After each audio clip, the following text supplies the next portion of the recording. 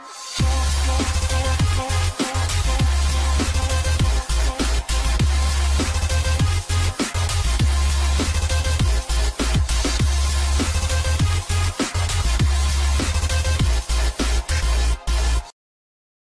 Salut tout le monde, c'est Lady, j'espère que vous allez bien.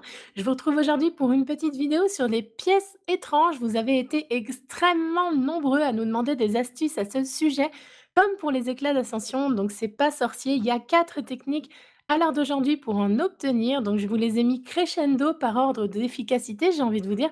La première étant de faire du multijoueur et d'avoir de la chance, là encore, d'en farmer.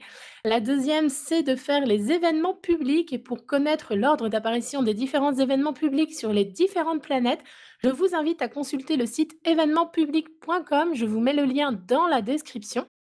Ensuite, vous avez la méthode des engrammes. Donc, plus vous décryptez d'engrammes, plus vous aurez la chance d'obtenir des pièces étranges. Mais là encore, il faut avoir des engrammes à décrypter. Donc, pour ce faire, une petite info au passage, il y a une nouvelle loot cave qui a été trouvée sur Vénus et je vous fais la vidéo très très rapidement. Et enfin, la dernière méthode, c'est la plus efficace à l'heure actuelle, c'est de faire les assauts épiques de la semaine.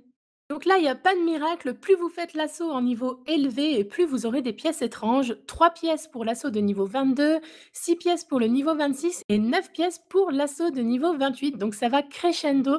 Avant, il y avait une petite méthode qui permettait de faire deux fois les assauts dans la semaine. Je crois que ça a été patché, mais il y a quand même une astuce à connaître.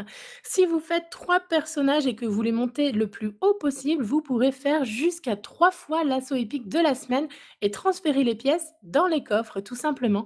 Donc le plus efficace, bien évidemment, c'est de faire l'assaut niveau 28. Si vous le faites trois fois, vous aurez 27 pièces étranges dans la semaine, ce qui reste une méthode vraiment, vraiment efficace.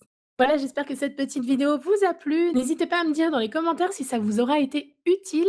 N'hésitez pas à partager, à liker, à vous abonner, bref, tout ça. Et moi, je vous fais de très gros bisous et je vous dis à très bientôt pour de prochaines astuces sur du Destiny. Ciao, ciao